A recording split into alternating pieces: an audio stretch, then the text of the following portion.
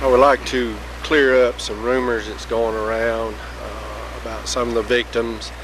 Uh, this is this is probably the worst thing I have seen to happen in my career.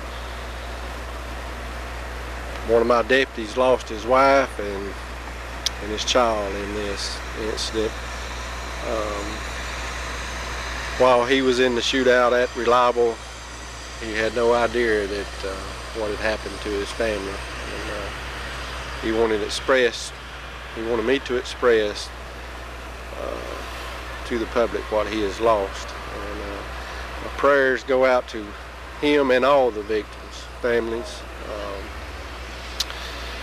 this is just uh, this is just a sad day in Geneva County. Sad day. Was the uh, uh, shooter related in any way to the victims? For example, the, your deputy's wife child? Or? They was visiting, uh, actually lived across the street, was visiting uh, the residence where the shooting took place. Uh, you know, there's, just, there's no reason behind it. No idea why.